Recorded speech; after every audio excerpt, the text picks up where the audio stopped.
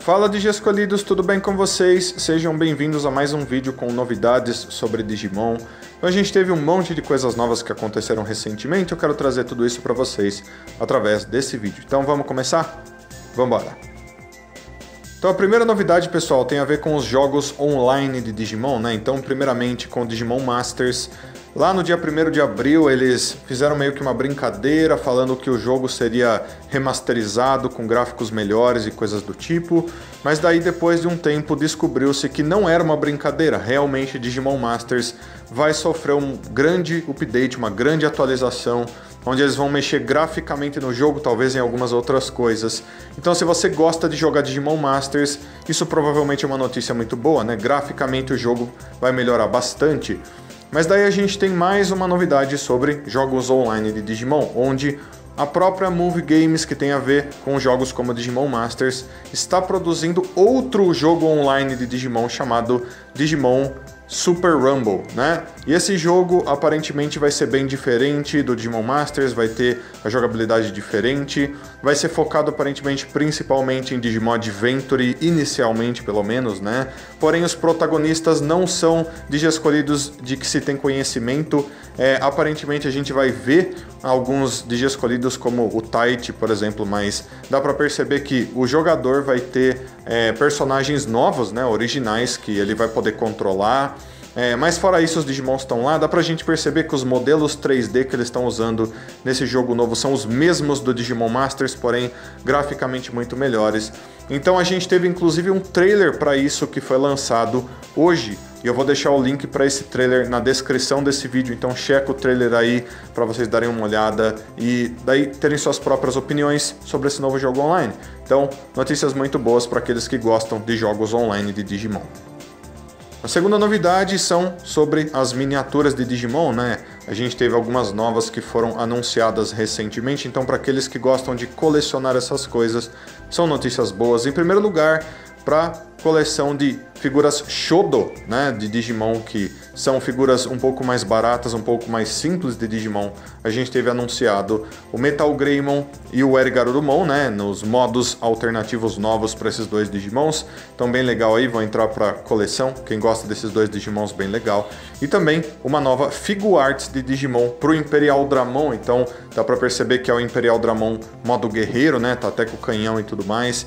Então muito legal aí. São figuras bem interessantes para Digimons que já ganharam muitas figuras, inclusive.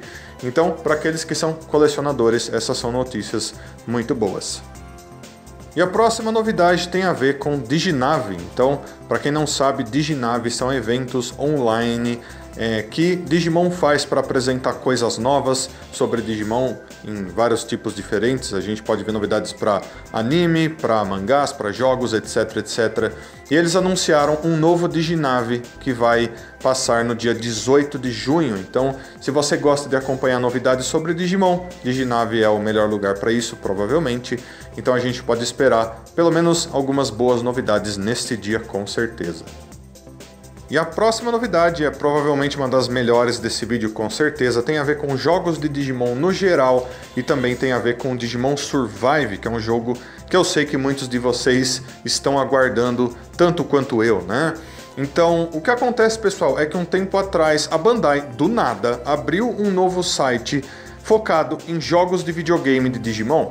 Então o link para esse site vai estar tá na descrição desse vídeo também, se você quiser checar por você mesmo. Né? Acontece que nesse site, que é bem interessante eles terem aberto um site só para isso, tem uma lista com todos os jogos de Digimon que foram lançados desde o começo, lá no começo mesmo da franquia até agora, né? Então bem legal você ver toda a linha do tempo com todos os jogos de Digimon lá, dá para você saber quais são, é, quais você ainda não jogou, bem legal. Mas daí Principalmente lá em cima a gente vê Digimon Survive com data para ser lançado ainda em 2021.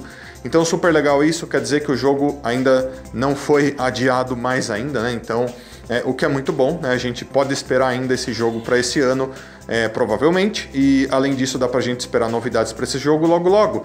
Talvez na E3, né, a gente vai ver muitas novidades para jogos nos próximos dias, nas próximas semanas. Então eu imagino que talvez a gente veja novidades sobre jogos de Digimon aí nesses eventos, o que é muito legal. Então, com certeza, muita coisa boa. É, uma coisa que eu pensei é que talvez por eles estarem mostrando todos esses jogos de Digimon nesse novo site que eles abriram, sem motivo algum aparentemente, é porque eles pretendem trazer esses jogos de volta de alguma forma, vai saber, né? Mas pelo menos Digimon Survive a gente sabe que ainda está a caminho e vai ser um jogo muito legal. E agora novidades sobre o jogo de cartas oficial de Digimon. Então, duas coisas bem interessantes. Em primeiro lugar, a gente teve finalmente o lançamento do BT6, né, a parte 6 do lançamento de cartas oficiais lá no Japão. Então são cartas muito incríveis mesmo, vocês vão estar tá vendo algumas dessas cartas é, sendo apresentadas para vocês aí no vídeo agora, né? São cartas muito bonitas como sempre, né? Com muitos Digimons muito legais, né? Então lá no Japão todo mundo já está jogando. É, enquanto isso a gente está, se eu não me engano, ainda no BT4 lançado em inglês, se eu não me engano é isso, né? Mas a gente pode esperar que vai chegar lá ainda, né? Mas daí então a gente tem também um booster extra, né, que vai ser lançado é, para o jogo de cartas de Digimon, onde a gente vai ter algumas cartas, se eu não me engano, ou pelo menos a carta do Wargreymon, né, que vai ter a arte original desses Digimons, que é a arte que é usada é, no reference book, né, no livro de referência oficial de Digimon, que são artes que foram usadas nas cartas lá do passado, do primeiro jogo de Digimon, que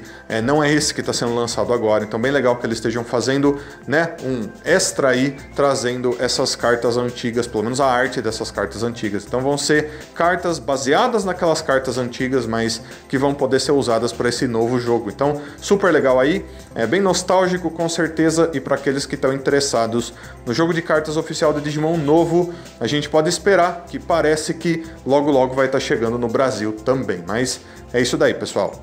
E a próxima novidade tem a ver com o site oficial de Digimon, onde na parte de Digimon Profile a gente teve uma nova atualização, onde lá eles ensinam para todo mundo que quiser aprender como você faz para estar lendo e acompanhando o Reference Book, o livro oficial de referências de Digimon, né? Basicamente a Pokédex para Digimon, a Digidex, né? Então eles ensinam passo a passo o que cada coisa significa, como você faz para ver e tudo mais, etc.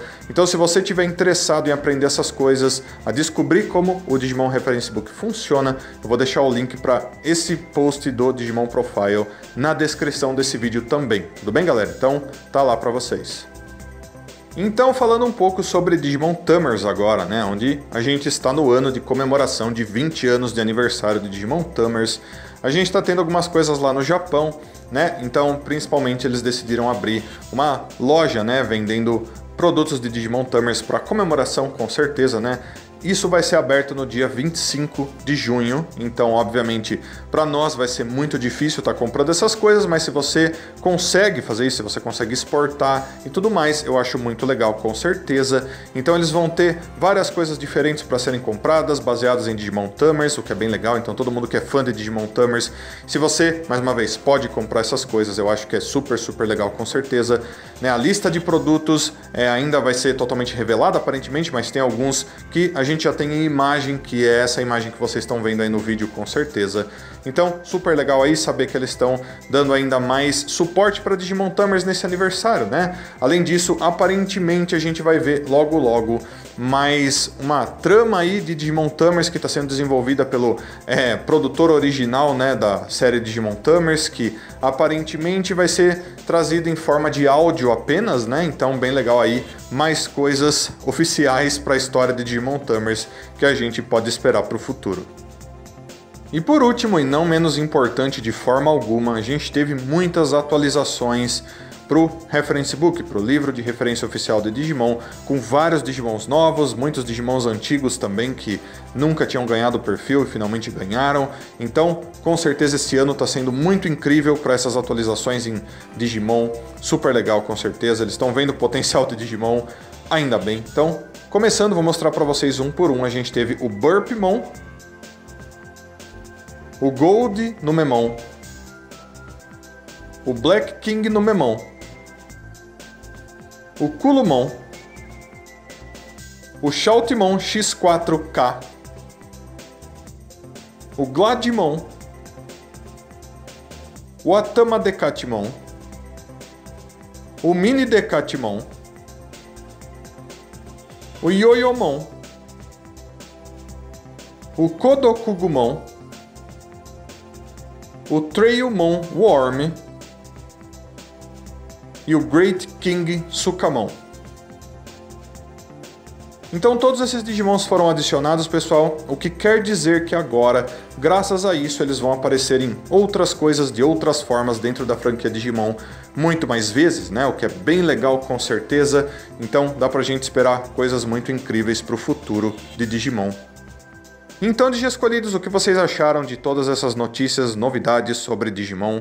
Por favor, deixem suas opiniões sobre cada uma delas, de quais vocês gostaram mais também, aí nos comentários. Todos os seus comentários são sempre muito importantes. E também, como eu sempre peço, se possível, deixe um like, se inscreve no canal, liga o sininho, se torne membro do canal se você quiser. Deixo um abraço muito carinhoso para todos vocês. Muito obrigado a todo mundo que assistiu mais esse vídeo até aqui. Aguardo todos vocês para os próximos vídeos. Então fui de escolhidos. Até a próxima. Tchau, tchau.